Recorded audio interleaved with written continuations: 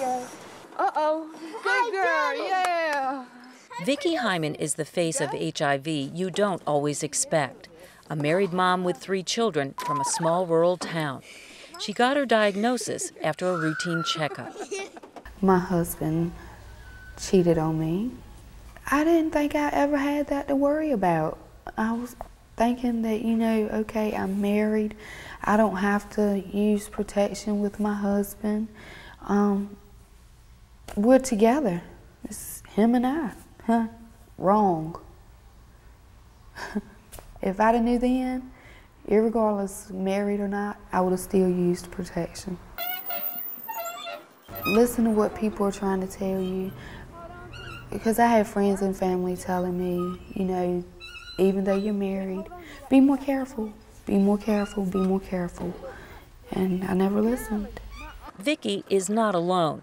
At Karen Durham, an organization that does HIV outreach and education, Dr. Sharon Bynum says Vicki's story is one they've heard many times before. We've tested lots of married women who just felt like, with the change in their husband's behavior, like him staying out all night, or him changing his pattern, or them checking their voicemails and things, all these things made them suspicious. So I'm saying just get tested, then you know. Dr. Bynum believes knowing your HIV status is empowering. But she says, unfortunately, some people are too scared to get tested or naive to think HIV could never happen to them.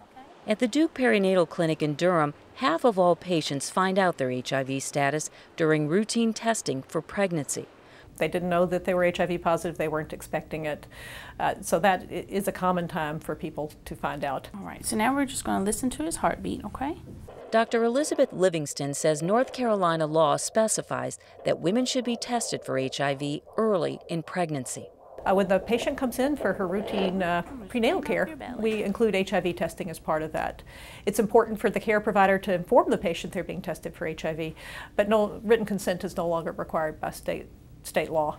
A mother can refuse the test, but state law mandates once the baby is born, the mother or the baby will be tested at delivery. Your baby is right where it needs to be. It's growing very good, okay? I think I find most of our patients, when they find out the baby's going to be tested, if they refuse, will go ahead and get their blood drawn. And I do think it's important because we can give the mom medication to help protect the baby early on, and that opportunity starts to slip away as you get uh, postpartum after birth. We've been able to go from a, a transmission rate of uh, 30 to 50 percent uh, from mother to baby of HIV infection and drop it down to less than 1 percent with the medication. Vicki Hyman is thankful that her children were born before she was infected with HIV. Married or not, she says people need to know their HIV status and need to practice safe sex. You got to be tested. You've got, you've got to use protection. Um, I know that it's a lot of people that may be married and don't feel the need to use protection, but I myself regret not using it because it, it could have kept me from becoming infected.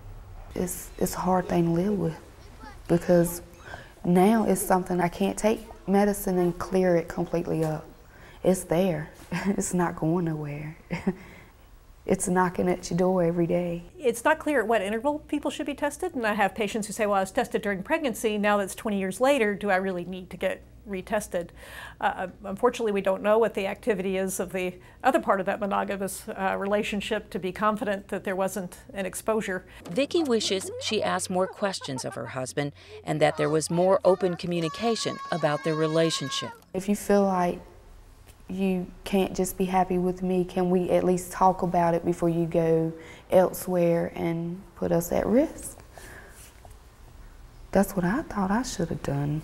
To find out where you can get tested, call your local county health department or visit the National HIV Testing Resources website at www.hivtest.org or call CDC Info at 1 800 232 4636.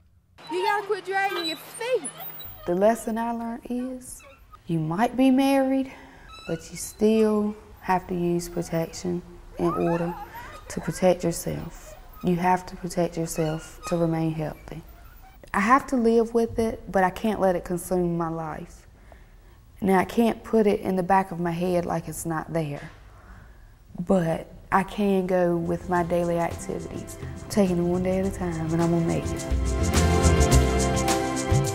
For more information on HIV and how to locate a testing site near you, visit www.nchealthystart.org. You can find it in the public section under Women's Health.